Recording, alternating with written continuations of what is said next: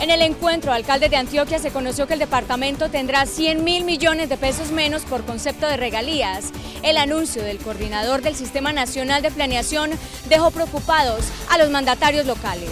Alcaldes de Antioquia trazan hoja de ruta para último año de sus mandatos. Presidente Santos desmiente que la Policía Rural vaya a estar integrada por excombatientes de las FARC.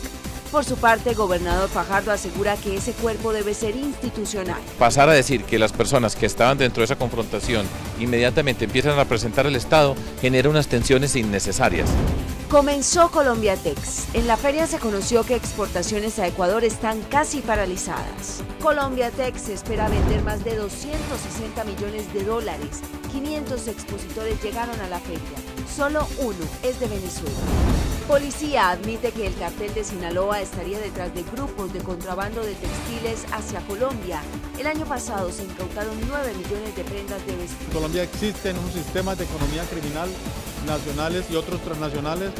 Algunas veces se conectan hasta con carteles como el de Sinaloa. A 64 funcionarios de empresas públicas de Medellín les terminaron el contrato.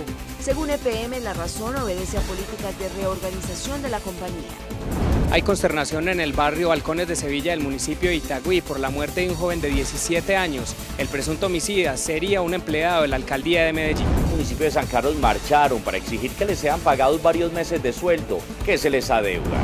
Este miércoles espere en Teleantioquia Noticias AM entrevista exclusiva con Jody Williams, Premio Nobel de Paz en 1995. El ciclista antioqueño Fernando Gaviria regresó al país luego de su gran actuación en el Tour de San Luis.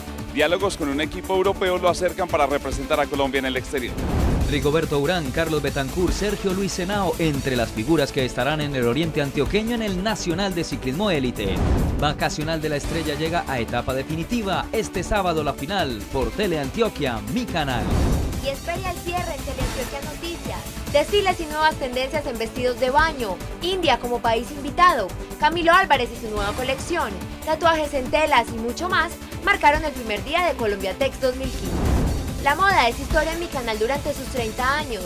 María Consuelo Gaviria de Modos y Modas es nuestro personaje en Agenda Mi Canal. Y conversamos con la escritora Almudena Grandes, una de las invitadas internacionales del iFestival Medellín que inicia mañana.